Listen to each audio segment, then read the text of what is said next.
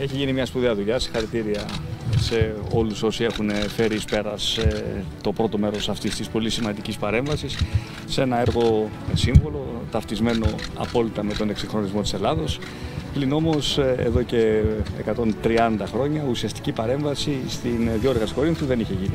Αυτό κάνουμε τώρα. Θα ανοίξει η διόρυγα με απόλυτη ασφάλεια όπως είχαμε δεσμευθεί από τη Δευτέρα και για τους επόμενους τρεις μήνες για να εξυπηρετήσει την καλοκαιρινή κίνηση. Θα ξανακλείσει από τις αρχές Οκτωβρίου για να γίνει η δεύτερη φάση της παρέμβασης. Του χρόνου το καλοκαίρι θα ανοίξει για τέσσερις μήνες ώστε να κερδίσουμε και τον, ε, και τον Ιούνιο και το έργο θα ολοκληρωθεί μετά εντός του 23. Εντός του 23, στα τέλη του 23 θα καταφέρουμε να ώστε να μπορούμε να παραδώσουμε στο επίμαχο κομμάτι που είχαμε και στι καταπτώσεις ε, μια διόργα η οποία θα είναι απολύτως ασφαλής και θωρακισμένη για πολλές δεκαετίες.